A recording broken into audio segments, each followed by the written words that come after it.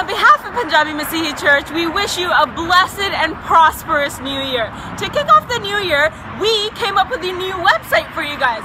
There are going to be messages, sermons, bulia, plays, worship, you name it, we have it right on your fingertips. But don't forget to come to church on Sunday at 10:30 a.m. in Surrey, and we have our meetings in Vancouver and Maple Ridge as well. All our meetings, services, all the information you can find on our Facebook page and our website.